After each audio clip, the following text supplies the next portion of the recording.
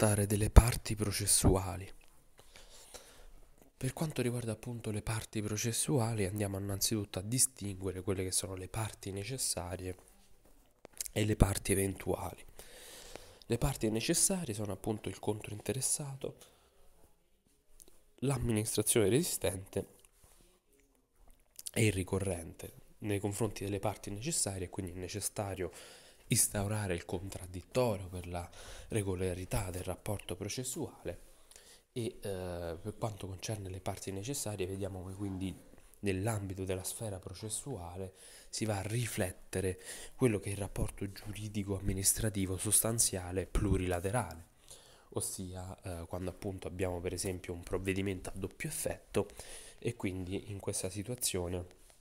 non viene coinvolto da parte di quel provvedimento, quindi nel rapporto giuridico sostanziale, soltanto l'interesse legittimo del ricorrente, ma anche la sfera giuridica e l'interesse legittimo del controinteressato, su cui quindi la sentenza farà stato e quindi eh, tra i, questi soggetti si instaura quindi un contraddittorio necessario. Per quanto riguarda la garanzia del contraddittorio necessario, infatti ricordiamo che è sancito che il ricorrente deve notificare il ricorso almeno nei confronti di un controinteressato e poi eh, il giudice provvederà all'ordinazione uh, dell'integrazione del contraddittorio anche nei confronti degli altri controinteressati. Ricordiamo che se abbiamo la situazione di un controinteressato che eh, viene appunto pretermesso, quindi non vi è stata l'integrazione del contraddittorio necessario, è possibile da parte di tale soggetto, è sempre possibile eh, il suo intervento in giudizio eh, attraverso la sua costituzione eh, e eh, dove quindi per tale soggetto non vi sarà alcuna preclusione eh, sotto il profilo dei poteri eh, processuali eh, quindi per il diritto di difesa e per l'integrazione del contraddittorio necessario, anche se il giudice non ha compiuto ancora l'integrazione del contraddittorio necessario nei confronti del controinteressato pretermesso, è possibile da parte di questi andare a compiere il proprio intervento senza subire alcuna preclusione sotto il profilo quindi della sfera dei poteri processuali, delle parti processuali.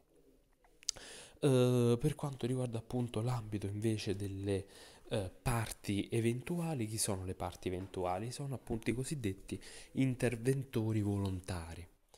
Uh, per quanto riguarda l'interventore volontario sarebbe quindi un soggetto che vede coinvolta la propria sfera giuridica ma in maniera indiretta.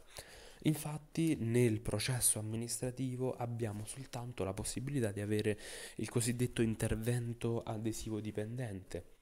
e in particolare abbiamo quindi soltanto la possibilità di avere l'intervento di terzo che non può andare come nell'ambito invece è possibile nel processo civile andare a dedurre anche una propria situazione giuridica soggettiva affinché il giudice faccia stato su di essa, ma nel processo amministrativo è possibile soltanto avere un intervento del terzo di tipo volontario che eh, vada appunto a sostenere e a uh, dare un supporto alle ragioni di uno o dell'altra parte, ma che non vada quindi a dedurre in giudizio una propria situazione giuridica soggettiva sostanziale su cui il giudice si pronuncerà. Quindi è come abbiamo detto un mero intervento adesivo dipendente che può essere un intervento ad adiuvandum o ad opponendum. L'intervento ad adiuvandum lo si ha appunto quando si, va so- si vanno a sostenere le ragioni proprie del ricorrente ad opponendum si fa riferimento a sostenere le ragioni, le ragioni dell'amministrazione resistente. Uh, la Corte di Cassazione ha specificato che uh, i termini in cui uh, si deve configurare la posizione dell'intervento del terzo. La legge, il codice va a sancire appunto che il terzo può intervenire appunto in maniera